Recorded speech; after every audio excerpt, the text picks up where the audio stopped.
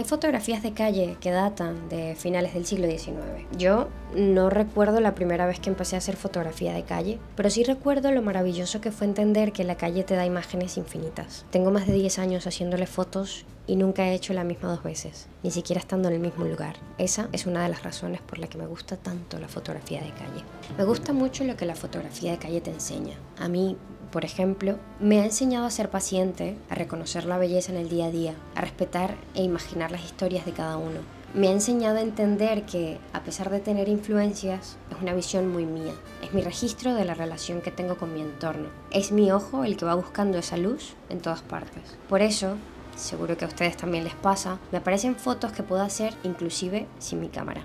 Por otra parte, creo que es extremadamente noble y permisiva. Lo único que te exige es tener paciencia y curiosidad por lo que sucede a tu alrededor. Porque, si bien existen recomendaciones y sugerencias, no hay ninguna regla que te impida hacer fotos con cualquier cámara u objetivo que lleves. Yo, lejos del 35 milímetros y también un poco lejos de mi zona de confort, utilicé estas dos distancias focales, tanto el 16 como el 75 milímetros, ambos f1.2 de Sirui, para hacer todo lo que están viendo en este video.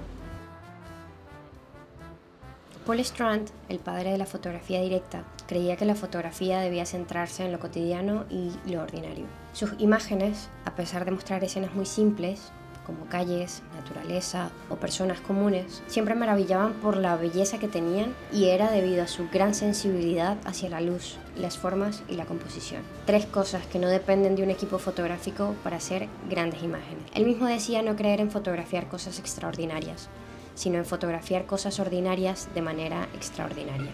En cualquier caso, sigo pensando y creyendo que cualquier cosa puede ser digna de fotografiarse si se observa con suficiente atención y cuidado. No sabía cómo concluir este video porque no pretendo quedar como una persona que es experta en el tema o como aquella que tiene la razón absoluta, porque yo, al igual que ustedes, estoy aprendiendo y cada vez me siento más lejos de saberlo todo. Pero sí es importante entender que lo bonito de la fotografía de calle es que no tiene ningún tipo de prisa.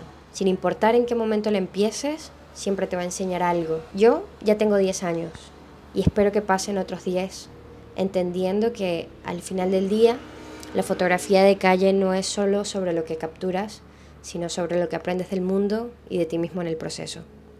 Nos vemos en la próxima.